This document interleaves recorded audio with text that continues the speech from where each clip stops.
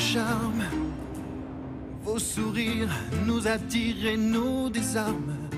Non Pauvre C'est diable, quoi C'est qui et nous sommes. Je cherche. C'est pas Julio. Hein. C'est pas Julio, c'est pas Julio. Une voix un peu éraillée, cassée. C'est lui Après une rhinopharyngite, alors Ah, le jeune, C'est son fils Non, c'est pas son fils. C'est un imitateur Bon, très bien. en haut en couleur. Euh, Alors, la terre, la terre de la peinture, Cézanne et moi, la terre en beauté, la terre volcanique. L'argile. Terre volcanique, l'argile. oui. Moi, ça sera du côté de Puy-en-Velay que je vais vous amener avec euh, l'expérience, oh, il y a bien longtemps quand même, euh, plus d'une quarantaine d'années, mais d'un Pierre Cattier qui décide d'utiliser cette argile. Comment ça s'appelle hein? Pierre Cattier, c'est son nom.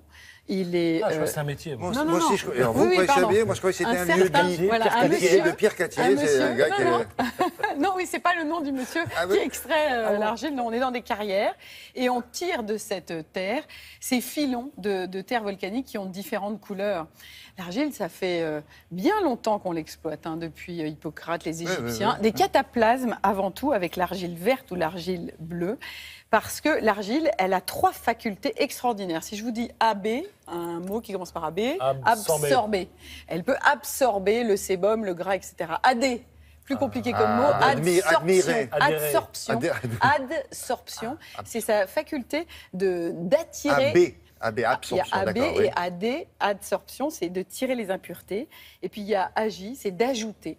Comme l'argile est composée de sels minéraux, d'oligoéléments, elle ajoute, elle peut larguer dans la peau des minéraux qui peuvent l'aider à se régénérer. C'est un produit qui pendant longtemps n'a été utilisé que pur. Et pourquoi on en parle maintenant? C'est qu'on est en train de comprendre comment l'argile fonctionne, peu ou prou, et on l'utilise en mélange maintenant en ingrédients cosmétiques. Donc ne soyez plus étonnés maintenant, dans différentes marques, il y a la marque des laboratoires de cosmétiques naturels, des grands industriels, etc., de la retrouver comme ingrédient. On regarde.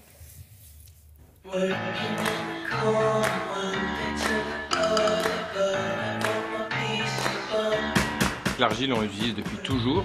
Dès la Grèce antique, en fait, euh, Hippocrate, le père de la médecine, vantait les bienfaits de l'argile pour euh, soigner un certain nombre de maladies, les douleurs articulaires, les rhumatismes, les brûlures, voire même les morsures de serpent. En fait, il y a plusieurs types d'argile. L'argile verte est utilisée dans nos masques euh, pour les peaux grasses, avec sa forte capacité d'absorption des excès de sébum. L'argile jaune plutôt pour les peaux sèches et l'argile rose plutôt pour les peaux sensibles. Quant au gommage où l'on utilise de l'argile blanche, c'est plutôt tout type de peau puisque c'est une argile qui est assez douce et que tous les types de peau peuvent accepter sans problème. Il y a dans les argiles un certain nombre de sels minéraux et d'oligo-éléments qui, en fonction de la couleur d'argile, peuvent être différents. Dans certains, on va retrouver un peu plus d'oxyde de fer, dans d'autres, un peu plus de zinc, de potassium. Et en fonction des propriétés euh, cosmétiques que l'on recherche, on utilisera telle ou telle argile dans notre formulation. L'argile que l'on utilise est 100% naturelle. Nous, notre argile est sourcée euh, principalement en France, dans la région du Puy-en-Velay. Les euh, extraits de la carrière, puis séchés. Il n'y a aucun traitement derrière, on l'utilise directement dans nos cosmétiques ou dans nos produits d'hygiène. Alors l'argile a deux capacités, on va dire, un peu extraordinaires. Première capacité, c'est une capacité d'absorption. C'est le rôle euh, que tout le monde connaît, l'effet un peu buvard de l'argile euh, qui absorbe euh, les excès de sébum, le gras, les gaz de, la peau, jusqu'à 8 fois son poids, donc ce qui est assez considérable. Et il y a une deuxième capacité, qui est une capacité d'adsorption avec un D, qui est là un travail plus en profondeur de l'argile, qui va fixer en fait les impuretés et les toxines pour les extraire de la peau. Au sein de notre laboratoire, on a maintenant une expertise de plus de 50 ans euh, de travail de, de l'argile. D'année en année, notre laboratoire est en mesure maintenant de formuler des produits beaucoup plus élaborés, comme c'est le cas de notre dernière gamme cosmétique peau sensible, dans laquelle on a incorporé de l'argile rose, justement pour toutes les propriétés qu'on lui connaît, et qui est à destination très spécifiquement des peaux sensibles. Alors c'est vrai que le- l'argile, on l'utilise depuis euh, des années des années. Là, on pourrait se poser la question, est-ce que l'argile est un ingrédient d'avenir?